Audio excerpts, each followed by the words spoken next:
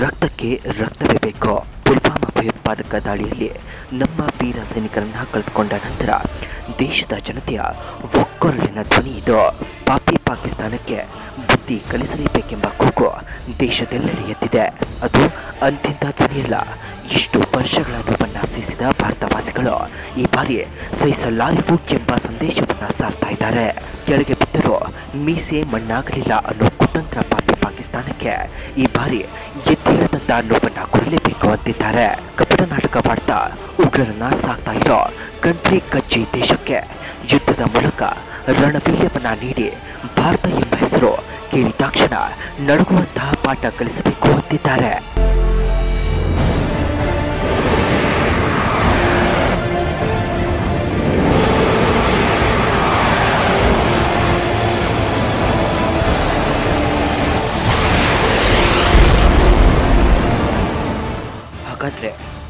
ಯುದ್ಧವೇನಾದರೂ ಒಂದು ವೇಳೆ ನಡೆದರೆ ನಮ್ಮ ದೇಶದ ಶಕ್ತಿ ಏನು ಎಂದು ತಿಳಿದುಕೊಳ್ಳಲೇಬೇಕು. ಅದರಲ್ಲೂ ಕರ್ನಾಟಕದಲ್ಲಿ ಅಡಗಿರುವ ಅದೊಂದು ಶಕ್ತಿ ಪಾಪಿ ಪಾಕಿಸ್ತಾನಕ್ಕೆ ನಿದ್ರೆಯನ್ನ ಕೊಡೋದಿಲ್ಲ. ಆ ಒಂದು ಶಕ್ತಿ ಹೆಸರು ಹೇಳಿದಾಕ್ಷಣ ನಿಮ್ಮ ದೇಹ ಒಂದು ಕ್ಷಣ ರೋಮಾಂಚನವಾಗದೇ ಇರಲ್ಲ. ಆ ಶಕ್ತಿ ಯಾವುದೋ? ಆ ಶಕ್ತಿ ಎಲ್ಲಿದೆ ಎಂಬ ನಿಮ್ಮ ಪ್ರಶ್ನೆಗೆ ಉತ್ತರ ನಮ್ಮಲ್ಲಿದೆ. ಭೂಸೇನೆ, ವಾಯುಸೇನೆ ಜೊತೆಗೆ ನೌಕಾ ಸೇನೆಯು ಕೂಡ ತನ್ನ ಬಲ ಪ್ರದರ್ಶನಕ್ಕೆ ಮುಂದಾಗಿದೆ. ಈ ನೌಕಾಸೇನೆಯ ಶಕ್ತಿ ಕರ್ನಾಟಕದ ಕಾರವಾರದಲ್ಲಿ ಅಡಗಿದೆ. ಅದೇ I N S Kadamba.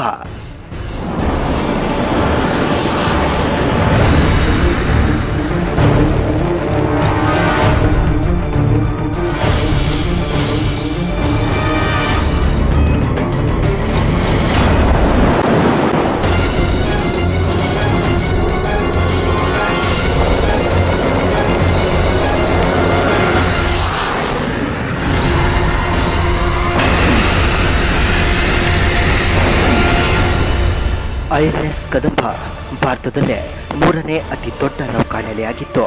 ಎರಡ್ ಸಾವಿರದ ಐದರಿಂದ ಕಾರ್ಯಾರಂಭ ಮಾಡಿದೆ. ಹಾಗಾದ್ರೆ ಈ ನೌಕಾನೆಲೆ ಆರಂಭಗೊಂಡಿದ್ದಾದ್ರೂ ಯಾಕಾಗಿ ಅಂತ ನೋಡೋದಾದ್ರೆ ಅದೊಂದು ಆಶ್ಚರ್ಯಕರ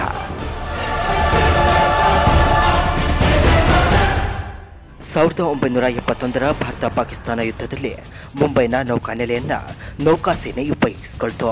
ಆದರೆ ಅಲ್ಲಿಗೆ ಬರೋ ಮೀನುಗಾರಿಕಾ ಬೋಟ್ಗಳು ಪ್ರವಾಸಿಗರು ಸೇರಿದ್ರಿಂದ ಅದು ಕಷ್ಟಕರವಾಗಿತ್ತು. ಹೀಗಾಗಿ ಮುಂಬೈ ಬಿಟ್ಟು ಬೇರೆ ಕಡೆಗಳಲ್ಲೂ ನೌಕಾನೆಲೆಗಳನ್ನು ಪ್ರಾರಂಭಿಸಬೇಕೆಂದು ಯೋಜನೆ ಹೊಳೆದಿತ್ತು ಅದರಂತೆ ಪಶ್ಚಿಮ ಘಟ್ಟಗಳಿಗೆ ತಾಕಿರುವಂತಹ ಅರಬ್ಬಿ ಸಮುದ್ರವನ್ನ ಆರಿಸಿಕೊಳ್ಳಲಾಯಿತು. ಹಾಗಾದ್ರೆ ಅದಕ್ಕೆ ಕಾರವಾರವನ್ನೇ ಯಾಕೆ ಆಯ್ದುಕೊಳ್ಳಲಾಯಿತು ಅನ್ನೋದು ನೋಡೋದಾದ್ರೆ.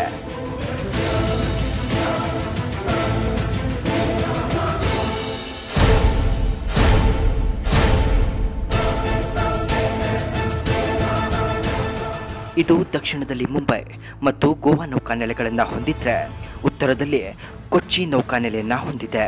ಅಲ್ಲದೆ ಪ್ರಪಂಚದ ಅತಿ ಬ್ಯುಸಿ ನೌಕಾ ಮಾರ್ಗವಾದ ಪರ್ಷಿಯನ್ ಗಲ್ಫ್ ಮತ್ತು ಪಶ್ಚಿಮ ಏಷ್ಯಾಕ್ಕೆ ತುಂಬಾ ಹತ್ತಿರದಲ್ಲಿದೆ. ಅಲ್ಲದೆ ನೈಸರ್ಗಿಕವಾಗಿ ನೌಕಾನೆಲೆಗಳಿಗೆ ಬೇಕಾಗಿರುವ ಆಳವಾದ ಸಮುದ್ರವನ್ನ ಹೊಂದಿದೆ. ಅಷ್ಟೇ ಅಲ್ಲ, ಯಾವುದೇ ಶತ್ರು ರಾಷ್ಟ್ರಗಳು ಅಷ್ಟು ಸುಲಭವಾಗಿ ಈ ನೌಕಾನೆಲೆಯನ್ನ ಟಾರ್ಗೆಟ್ ಮಾಡೋದಕ್ಕೆ ಸಾಧ್ಯವೇ ಇಲ್ಲ. ಇನ್ನು ಇದು ದೊಡ್ಡ ವಿಮಾನಗಳನ್ನ ಕೂಡ ಹೊತ್ತುಕೊಳ್ಳಬಲ್ಲದು ಇಂತಹ ಕಾರಣಗಳಿಂದಾಗಿ ಐ ಎನ್ ಎಸ್ ಕದಂಬ ಹುಟ್ಟು ಸಾಧ್ಯವಾಗಿತ್ತು.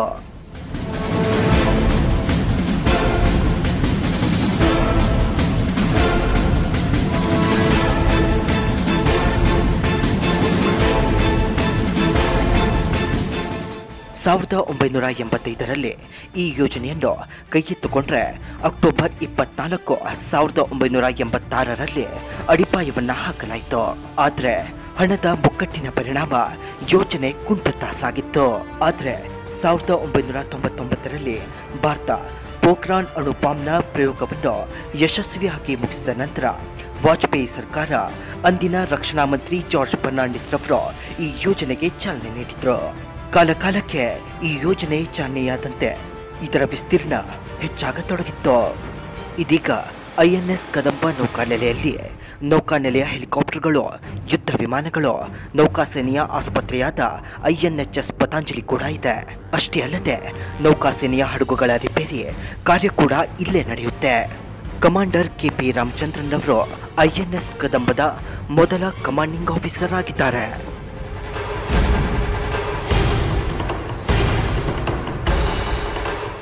ಇಷ್ಟೊತ್ತು ನಿಮಗೆ ಐ ಎನ್ ಎಸ್ ಕದಂಬ ಬಗ್ಗೆ ಹೇಳ್ತೀವಿ. ಆದರೆ ಐ ಎನ್ ಎಸ್ ಕದಂಬದಲ್ಲಿ ಅಡಗಿರುವಂತಹ ಆ ದೈತ್ಯ ಶಕ್ತಿಯ ಬಗ್ಗೆ ಹೇಳ್ತೀವಿ ಕೇಳಿ. ಸಾವಿರಾರು ಎಕರೆಗಳಷ್ಟು ಜಾಗವನ್ನು ಹೊಂದಿರುವ ಐ ಎನ್ ಎಸ್ ಕದಂಬ ತನ್ನಗೊಳಗೊಂದು ಮಹಾಶಕ್ತಿಯನ್ನು ಹೊಂದಿದೆ. ಆ ಶಕ್ತಿ ಶತ್ರುಗಳ ಜತೆ ನಡಗಿಸಿ ಬಿಡುತ್ತೆ ಅದೇನಾದರೂ ಒಮ್ಮೆ ಕಾರ್ಯಕ್ಕೆ ಇಳಿದ್ರೆ ವೈರಿಯ ಸೇನೆಯನ್ನ ಚೆಂಡಾಡಿ ಬಿಡುತ್ತೆ ತನ್ನೊಳಗೆ ಎಂತೆಂಥ ಆಯುಧಗಳನ್ನ ಇಟ್ಟುಕೊಂಡಿದೆ ಅಂದರೆ ಅದನ್ನು ಊಹಿಸಲು ಅಸಾಧ್ಯ. ಇಡೀ ಸಾಗರಕ್ಕೆ ರಾಜನಾಗಿ ಮೆರೆಯೋ ಈತನ ಮನೆ ಇದೆ ಐ ಎನ್ ಎಸ್ ಕದಂಬ. ಅವನೇ ಐ ಎನ್ ಎಸ್ ವಿಕ್ರಮಾದಿತ್ಯ.